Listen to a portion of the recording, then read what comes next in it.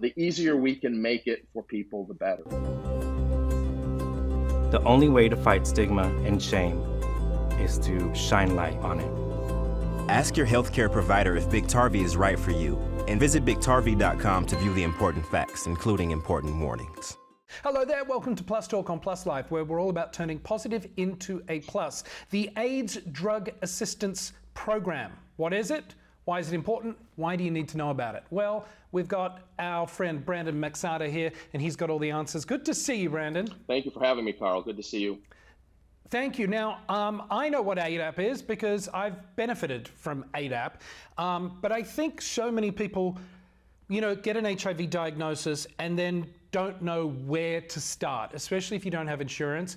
And we can get into why people don't get tested in the first place because they're worried that they couldn't deal with a positive um, diagnosis. But right. in the simplest, most plain English, everyday talk, what is ADAP and why, if I've been diagnosed HIV positive, do I need to know about it? ADAP is a uh, federal program in partnership with states that gives insurance for access on prescription dr- drugs for people who are either underinsured or have no insurance. Now we like to think that with the ACA, the Affordable Care Act passing, that everybody got insurance and everybody, you know, can get access to what they want, and that's just not necessarily the case. So there are still federal programs that are very important. ADAP for people living with HIV/AIDS is the one of the most important programs. The only program that funds healthcare services for people living with HIV more is Medicaid. That's the number one payer, but ADAP is is second. Uh, and ADAP is part of the Ryan White Care Act, which funds more um, diverse um, care and uh, services and supports for people living with HIV. But being what we know about HIV, that if you tr- if you treat it, treat it early, and you're adherent to your medications, you can be um, undetectable. And what we know in today's science is that undetectable equals untransmittable. That means me as a long-term survivor of HIV, who also benefited from ADAP at one point in my life, um, taking my medications every day, keeping my viral load suppressed, that through sexual contact, I cannot um, give my HIV to my partner or sexual partner, whoever it may be. And that's important. And that's one of the reasons why we're very um, focused on making sure people are aware of ADAP. We have an online directory so that if you are newly diagnosed, I mean, think of the emotions that you went through when you were first diagnosed. You know, there's so many emotions running through your mind. And hopefully you're linked to care. Hopefully you have a social worker who's there saying, hey, this we can get you in this program. But if not, you as a patient can go online and say, okay, this is a, this is a program that's available to me. Or equally important, you move. Um, ADAP is, is different in every state. We, we joke that there's two things that every state ADAP has in common its name, ADAP, and that you have to be HIV positive to be eligible. After that, the similarities from state to state change. So if you're living in New York and you have your ADAP services covering ABCD, you move to Kentucky and you find out, oh no, my ADAP in Kentucky, Kentucky only funds A and B. I don't get C and D here. Now you're freaking out. What do I do? So it's important. We always tell people before you move, if you're on ADAP, make sure you know where you're moving to and what the ADAP looks like, because it's very important. I think when people hear government funded program, that can set off alarm bells and freak people out. To me, it sounds like a whole lot of paperwork that I'm going to be marched into an office, I'm going to be judged by somebody, I have to declare my HIV status, obviously. What if I'm not ready to be talking about my HIV status? Um, what if I have experienced stigma from some of these, you know, government healthcare services or things in the past? What are your what's your advice to people who go, ah, this just doesn't sound like I can do this? I always tell people to take a very deep breath and think about you and your health. Um, and what would be your life be like if you weren't on the medications that will keep you healthy? Hopefully, make you attain an undetectable status. Um, stigma exists. That there's no doubt about it. We we have the HRC just came out with their annual uh, report about stigma in television and people's attitudes we have a lot of work to do to combat stigma. Um, but I think if you're going to let stigma dictate your healthcare decisions, you're putting yourself in a very bad position. Um, so hopefully you don't run into that. Um, if it does happen, you know, go to someone and see if there's other services available uh, for you. But I think in most cases, if you're going to run into um, an ADAP counselor, coordinator, whoever it is within the ADAP Ryan White space, these are people who are aware that you have to be HIV positive. These are they work with HIV positive clients on a daily basis. I think you'll find them to be most helpful. Um, and if you run into someone who's not, then go to Plan B. And Plan B may be saying, "Can I speak to your supervisor?" Um, you know, there's always an, a remedy to a situation.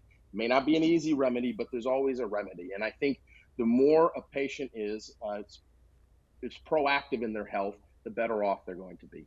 You know, a lot of people, young people especially, are on their family, their parents' insurance mm. plans, right? And they are not out perhaps about their sexual identity. They certainly don't want to talk about their HIV status with their parents. Um, you talk about how ADAP works alongside with people who are ins- uh, uh, have insurance. I'm one of those people. That was the case for me back when I uh, made use of ADAP.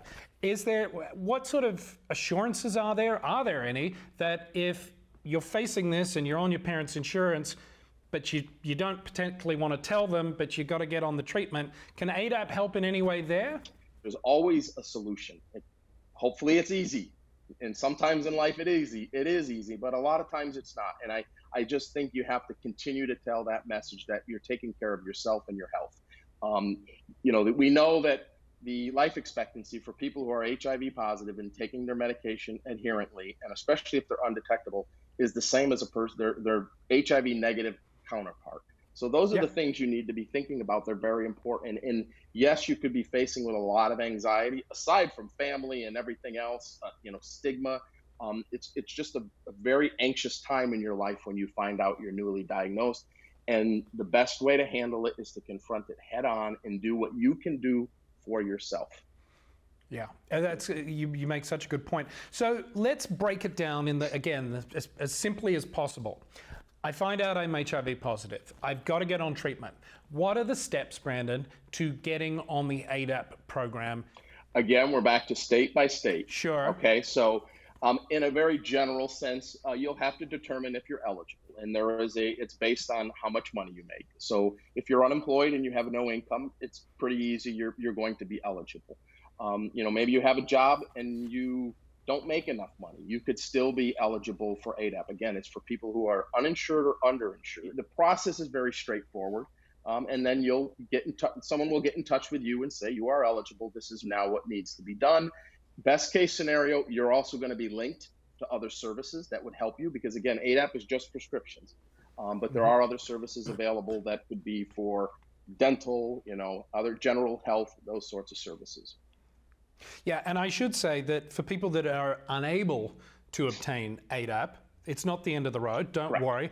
Copay and payment assistance programs are offered by most, HIV drug companies, and we're going to do a separate plus talk down the line um, about how one can apply for those kind of services too. But uh, ADAP in of itself is a, a just a, a lifesaver. It certainly has helped me. I know it helps a lot of people, and uh, we didn't get time to talk about, but I know in some states, not all of them, but in some states, um, even undocumented immigrants also Correct. qualify for ADAP. So we're going to put all all the information up um, as a graphic somewhere here. I think the kids do that on the okay. cool YouTube videos. There'll be something right here, right, right here, now. right? That that's yeah. You can click here now, uh, and that will take you, or, or at least advise you where to go for uh, ADAP.